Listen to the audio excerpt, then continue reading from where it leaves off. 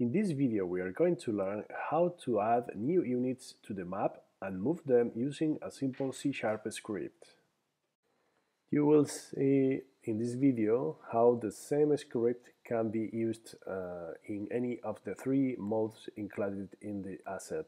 Either it is the 2D or flat mode, the viewport mode, or the terrain mode.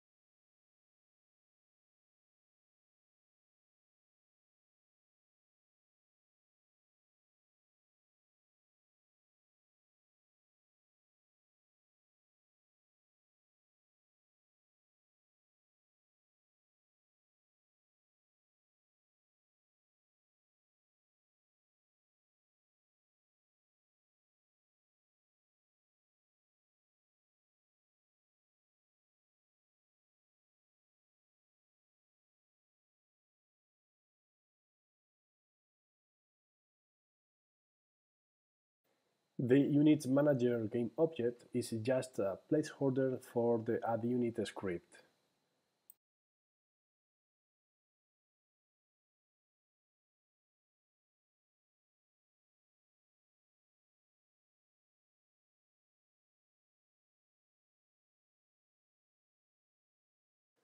As soon as I click on the map, the tank prefab will be stanced and I will be able to move it over the map.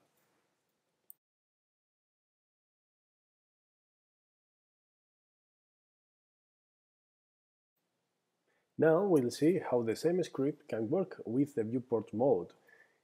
In viewport mode, World Map Strategy Kit uses a custom mesh to render 3D terrain with elevation. This is not the Unity standard terrain, but a custom mesh generated in real time by World Map Strategy Kit.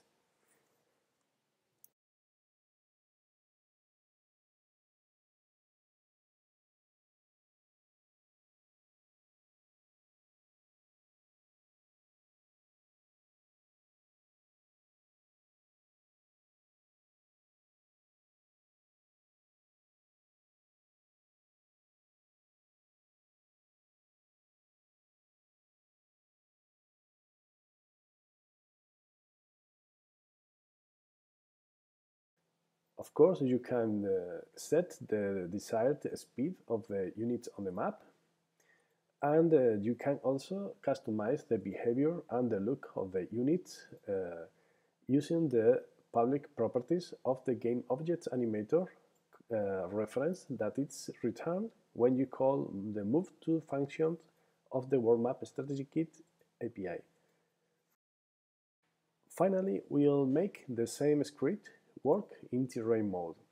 In terrain mode, World Map Strategy Kit is able to render the different map features like country and provinces borders, the region highlights, or the country labels on a standard Unity terrain. Um, it can do that because it uses uh, custom terrain shaders that blends the different map uh, uh, layers on the Uh, splat maps of the Unity terrain.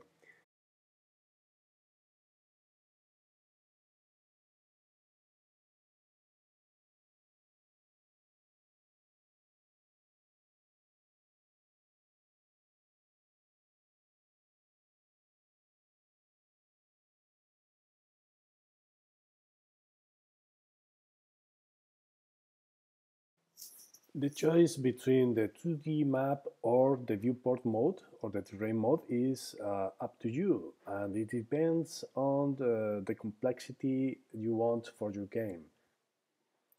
For instance, if you want to make a very simple game that uh, uses very little resources and works fine on mobile, like Plague Inc. or a Risk game style, then you can go with the 2D uh, flat mode.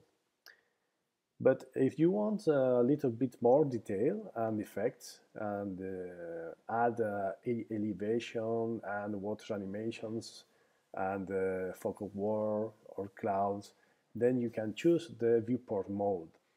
The viewport mode uses a custom mesh that is uh, generated in real time as uh, we have uh, commented before. So it uses a lot more resources it's a great option for desktop and also for the modern mobile devices. And finally, if you want to, to be able to zoom in a lot at the terrain level and uh, see your units walk uh, over the terrain uh, and see the grass and the vegetation or trees, then you should pick the uh, terrain mode.